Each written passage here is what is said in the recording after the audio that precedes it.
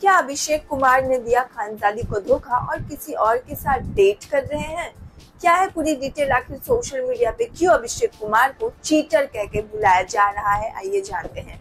आपको बता दें कि बिग बॉस सीज़न 17 में अभिषेक कुमार और खानजादी यानी कि अभिजादी की जोड़ी को लोगों ने खूब अप्रिशिएट किया खूब सराहा। हालाँकि अभिषेक तो आए थे ईशा मालविया के पीछे पीछे कहा जा रहा है कि ईशा आ रही थी शो में और फिर मेकर्स ने उनके एक्स बॉयफ्रेंड की एंट्री करवाई गई थी और स्टेज पे ही अभिषेक और ईशा के बीच में झगड़ा हुआ था।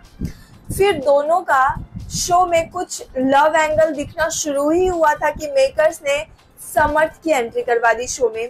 उसके बाद जब समर्थ की एंट्री हुई तो अभिषेक जो है खानदादी से हँसी मज़ाक करते थे और फिर इनका जो हँसी मज़ाक है, कब लोगों को पसंद आ गया और कब लोगों ने अभिषेक और खानदादी को अभिजादी बना दिया, ये तो अभिषेक और खानजादी दोनों को भी नहीं पता। जब खानजादी बिग बॉस के घर से बाहर आई, तब लोगों ने अभिषेक और खानजादी की जोड़ी उनकी बॉन्डिंग को खूब मिस किया।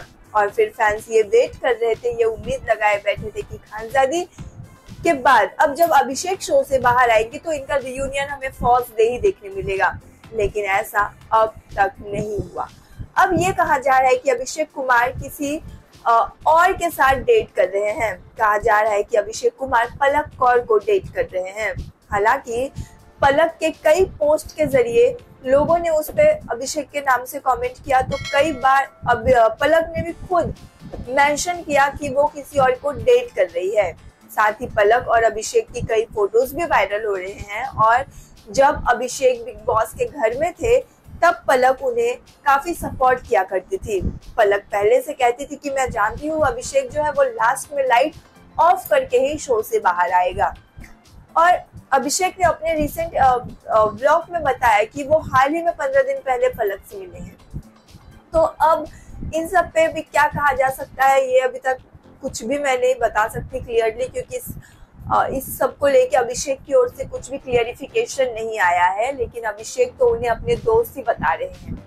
बट सोशल मीडिया पे फैंस जो है अभिषेक को काफ़ी ट्रोल कर रहे हैं उन्हें काफ़ी भला बुरा कह रहे हैं कि अभिषेक जो है वो खानजादी को चीट किया और अभिषेक ने खानजादी को धोखा दिया और पलक के साथ डेट कर रहे हैं। तो हो सकता है कि खानजादी इस वजह से भी अभिषेक को अनफॉलो कर सकती है तो ऐसा फैंस का मानना है। वेल well, आप क्या कहना चाहते हैं इन सब पे? आपको क्या लगता है? क्या अभिषेक ने सचमुच खानजादी को धोखा दिया है? जो भी लगता है कमेंट करें और भी अपडेट के लिए सब्सक्राइब करें गपशप तो